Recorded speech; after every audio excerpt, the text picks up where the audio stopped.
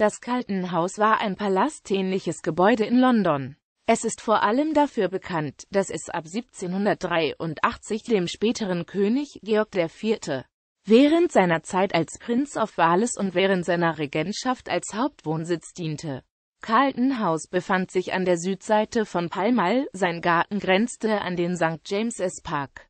Der Standort des Hauses, an dem sich heute die Carlton House Terrace befindet, war der ausschlaggebende Grund dass der für die Kunstepoche Regency bedeutsame Architekt John Nash hier entlang eine Prachtstraße gestaltete, die von St. James über die Regent Street, Portland Place und Park Square zum Regents Park führte.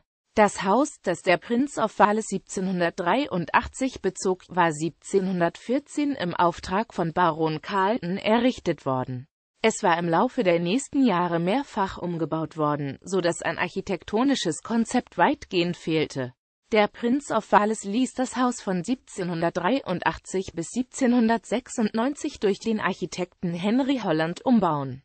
Die umfangreichen Baumaßnahmen an dem Haus waren ein Grund für die hohe Verschuldung des Prinzen und damit auch der Grund, dass der Prinz, der heimlich schon mit der katholischen und zweimal verwitweten Maria Fitzherbert verheiratet war, eine offizielle Ehe mit der Prinzessin Caroline von Braunschweig schloss. Die Heirat war mit einer Schuldenübernahme durch seinen Vater und einer Erhöhung der Apanage durch das Parlament verknüpft. Der Prinzregent Georg IV verfügte hier am 23. Dezember 1815 die Auflösung der King's Almen Legion. 1820 folgte der Prinz of Wales seinem Vater auf den Thron.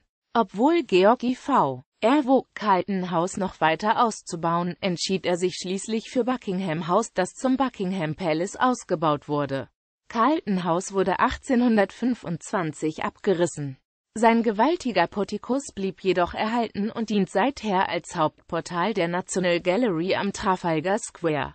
Auf dem Grundstück des Carlton House wurden vom Hofarchitekten John Nash zwei Apartmentgebäude errichtet die man als kalten Hausteres bezeichnet. Diese äußerst aufwendig gestalteten Bauten gelten als Musterbeispiel des Regency-Stils. Die Erlöse aus der Vermietung der Häuser wurden für den Bau des Buckingham Palace verwendet